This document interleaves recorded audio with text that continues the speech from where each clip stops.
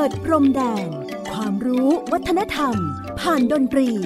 และเสียงเพลงแห่งอาเซียน ในรายการ เพลงดนตรี วิถีอาเซียน ASEAN Music Ways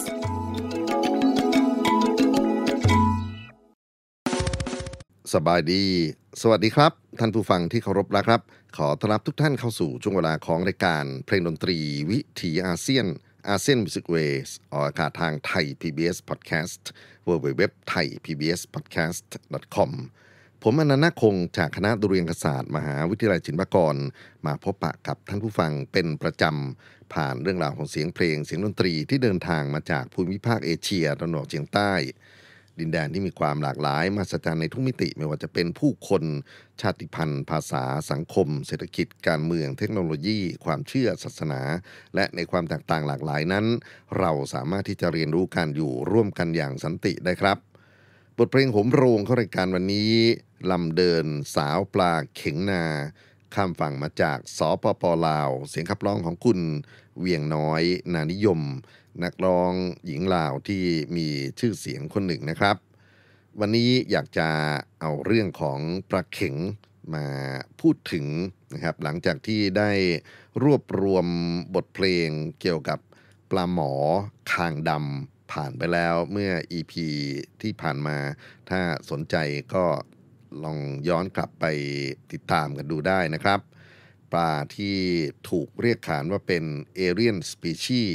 มีปัญหาทั้งในด้านของ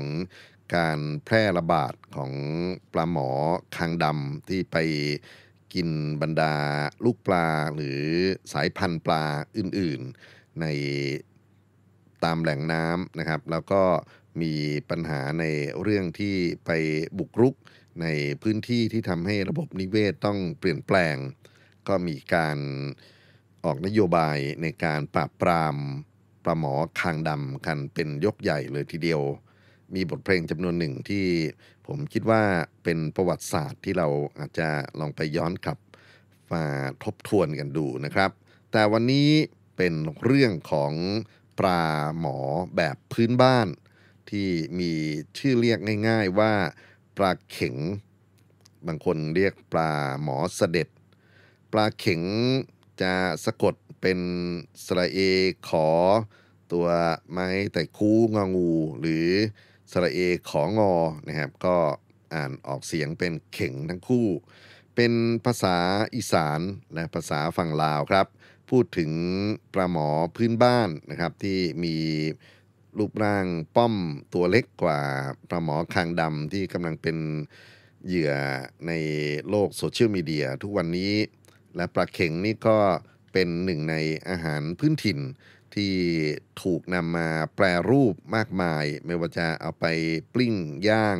เอาไปเรียกว่าป่นนะฮะแล้วก็ป่นเขาจะมีเอาน้ำปลามาร่วมผสมด้วยนะครับน้ำปลาพริกหอมแดงอะไรพวกนี้มีสูตรอื่นๆนะครับที่ปลาหมอถูกเอาไปทำชูชีเขียวหวาน เอาไป ทอด เอาไปทำน้ำพริกเผาปลาย่างนะครับ พูดแล้วก็น้ำลายสอเลย ถ้าท่านที่เคย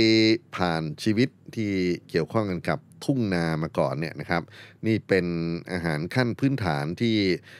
เกษตรกร ชาวไร่ชาวนาก็จะ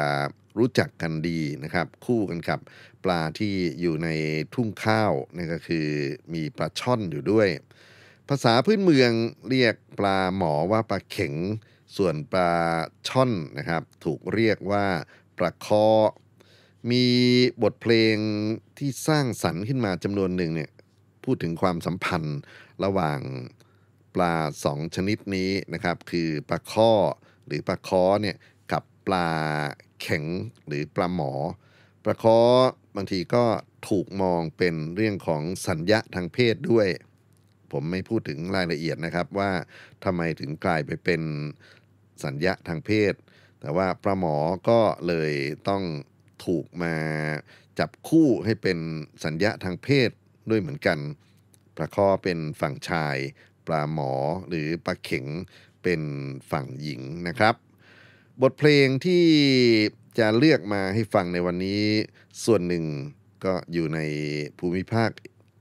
ตะวันออกเฉียงเหนือ หรือภาคอีสานเราเนี่ยแหละนะครับ อีกส่วนหนึ่งอยู่ที่ฝั่งลาว ให้สมกับเป็นเพลงดนตรีวิถีอาเซียน พูดถึงเพลงปลาเข็งที่โด่งดังแล้วก็มีการเอาไปคอฟเวอร์กันมากในกลุ่มของหมอลำหนีไม่พ้นงานของคุณเฉลิมพลมาลาคำครับ เป็นนักร้องจากสุรินนะครับที่แต่งเพลงในภาษาอีสานได้ไพเราะแล้วก็มีความหมายมากๆ เพลงชื่อ คิดฮอดปลาเข็ง เพลงนี้เป็นแนวตัดเพ้อต่อว่าหญิงคนรักครับ ที่จากไปอยู่ในทินอื่น แล้วก็เป็นความผูกพัน เป็นความรู้สึกคิดถึงสาวคนนี้นะครับ จากมุมของปลาข้อใหญ่ คิดว่าปลาเข็งหลงห้วยลืมห้องฟ้าห้องไปอยู่ที่ไหนนะครับ สงสารจนถึงว่าถ้าเกิดเธอไปอยู่ที่หนองนาครามน้ำล้นอ่างไปอยู่วังขี้ตะเร หรือวังขี้เลบ่อนน้องเน่าเหม็นนะครับชีวิตน้องจะเป็นอย่างไร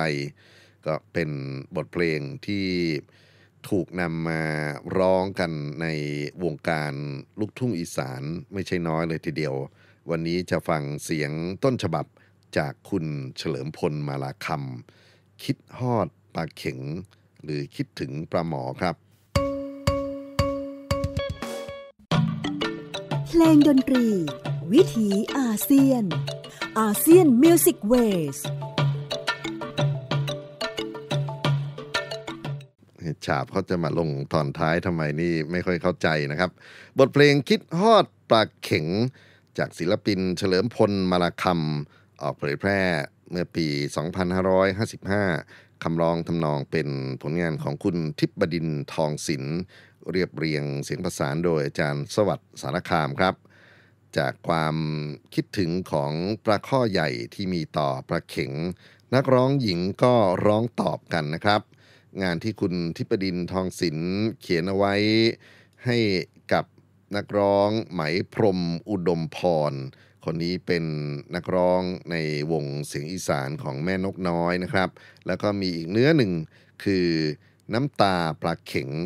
เสียงคำร้องของคุณดอกรักดวงมาลา ทั้งสองเพลงใช้โต้ตอบกับเพลงคิดฮอดปลาเข็งของคุณเฉลิมพล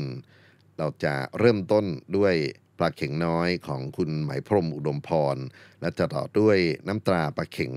ของคุณดอกรักดวงมาลาครับ เพลงดนตรี วิถีอาเซียน ASEAN Music Waysผ่านไปครับสองบทเพลง ซึ่งกลุ่มปลาเข็งหญิง ร้องโต้ตอบกับปลาข้อฝ่ายชายนะครับ เราเริ่มต้นมาจากปลาเข็งน้อย คุณไหมพรมอุดมพร ขับร้องเอาไว้ แล้วก็เพิ่งจบลงไปก็คือ บทเพลงน้ำตาปลาเข็ง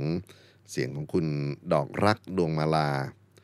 เรื่องของปลาข้อและปลาเข็งครับเป็นบทเพลงที่ถูกสร้างสรรค์ขึ้นมาหลายเวอร์ชั่นด้วยกัน แล้วก็มีทั้งอารมณ์ขันไปจนถึงเรื่องของการอวดสำนวนทางกวีพื้นบ้านนะครับ อย่างต่อไปนี้เป็นเพลงที่ศิลปินฝั่งลาว ท่านเคยสร้างสรรค์และขับร้องเอาไว้ประสบความสำเร็จมาก ๆนะครับ คือคุณพ่อเสียงสวรรค์ ถึงกรรมไปเมื่อ 2 ปีที่ผ่านมานี้เอง เราจะมาฟังเพลงปลาข้อใหญ่ที่ขับร้องใหม่ โดยคุณมนแคนแก่นคูณซึ่งต้องยอมรับว่าเพราะมากๆนะครับ ไม่ว่าจะเป็นน้ำเสียงไปจนถึงการทำงานดนตรีที่ประณีต จากบทเพลงปลาข้อใหญ่ครับ มีเสียงตอบรับนะฮะปาข้อใหญ่หลายสำนวนอีกแล้วนะครับ เราจะเริ่มจากปลาเข็งแป่ง คุณธิดาธรสุมาลี เป็นลำทำนองภูไทยประยุกต์ แก้บทเพลงปลาข้อใหญ่ครับ หลังจากนั้นจะเป็นลำปลาเข็งคำของคุณอังคณามงคลนะครับ วันนี้จากฝั่งลาว แล้วก็ขอปิดใน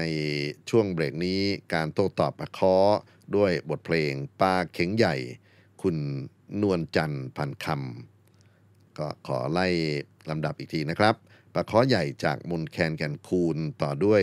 ปลาเข็งแป่งทิดาทรสุมาลี ต่อด้วยลำปลาเข็งคำอังคณามงคล และบทเพลงปลาเข็งใหญ่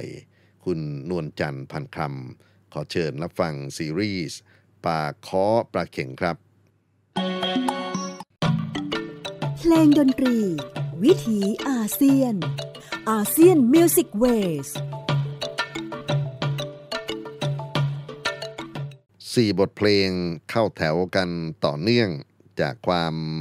รู้สึกนึกคิดของปลาค้อใหญ่ฝ่ายชาย ซึ่งในอดีตนั้นเป็นงานที่พระครูเสียงสวรรค์นะครับ ซึ่งเป็นหมอลำฝั่งลาวเขาเคยบันทึกเสียงเอาไว้ แต่ที่วันนี้เลือกมาคือคุณมนแคนแก่นคูณแล้วเราก็ฟังฝั่งของปลาเข็งนะครับ ที่ร้องโต้ตอบกับปลาค้อ เรามีเสียงของคุณทิดาทรสุมาลีลำในทำนองผู้ไทยนะครับ แล้วก็ต่อด้วยลำประเข็งคำโดยคุณอังคณามงคล และที่เพิ่งจบไปล่าสุดนี้ก็คือปลาเข็งใหญ่จากคุณนวลจันทร์พันคำเรื่องราวของอาหารพื้นบ้าน ปลาพื้นบ้านที่อยู่ในความรู้สึกนึกคิดของคนไทยคนลาว ในกรณีของปลาข้อปลาเข็งนะครับ ยังมีอีก จำนวนไม่น้อยเลยทีเดียว ที่เป็นบทเพลงที่น่ากล่าวถึง แต่ด้วยเวลาที่ค่อนข้างจำกัดนะครับ ก็คงจะตัดในส่วนของประคอออกไป คราวนี้เหลือแต่เฉพาะเพลงปลาเข็งหรือปลาหมอพื้นบ้านเท่านั้น อันนี้ต้องย้ำว่าเป็นชะตากรรมคนละแบบกันกับปลาหมอคางดำเอเลียนสปีชีส์ที่ยังมี เรื่องของพันธกิจในการปราบปราม ในการมีสื่อที่โฆษณาสรรพคุณอันเลวร้ายเนี่ยนะครับที่เกิดขึ้นจากการลุกรานของปลาหมอคางดำแล้วก็มีเพลงจำนวนไม่ใช่น้อยเลยทีเดียว ที่ถูกผลิตขึ้นมาเหมือนกับเป็นเพลงปลุกใจ เอาไว้รบกับข้าศึกศัตรูยังไงบอกไม่ถูกนะครับ ผมได้รวมมาไว้ใน EP ที่ผ่านมาแล้ว คราวนี้ครับ จะมาเป็นอาหารการกินนะครับ จบด้วยความสุขก็แล้วกัน เราจะเริ่มต้นด้วยนักร้องฝ่ายชาย คุณดาวรุ่งหนุ่มอีสานครับ จะร้องเต้ยปลาเข็งแม่ไข่ แม่ไข่ที่ว่านี่ก็คือมีไข่เต็มท้องเนี่ยนะครับ เวลาที่เขาทำปลาหมอย่างหรือปลาเข็งย่างนั้น โอ้โห เรียกได้ว่านี่คือสุดยอดของอาหารพื้นบ้านอย่างหนึ่งเลยทีเดียวนะครับ ก็มีการเอาปลาหมอย่างไปรับประทานกับผักสดกับน้ำพริก กับส้มตำอร่อยทั้งนั้นครับ ท่านผู้ฟังยิ่งมีเขาเกลือนิดๆนะครับ จากปลาเข็งย่างหรือปลาหมอแม่ไข่ย่างนะครับ ก็จะเป็นป่นปลาเข็ง การป่นก็เป็นอีกหนึ่งวิธีกรรมของการสร้างสรรค์สูตรของอาหารพื้นบ้านนะครับ ผู้ที่จะขับร้องนั่นคือคุณสุพนาศเหระวัน วันนี้ครับล่ำลากันด้วย เต้ยปลาเข็งแม่ไข่ ดาวรุ่งหนุ่มอีสาน และป่นปลาเข็ง สุพนาศเหระวัน ผมอนันต์นาคงขอกล่าวคำสวัสดีไปพร้อมกับ ความสุขในการฟังเพลงปลาเข่งหรือปลาหมอพื้นบ้าน สวัสดีครับ เพลงดนตรี วิถีอาเซียน ASEAN Music Ways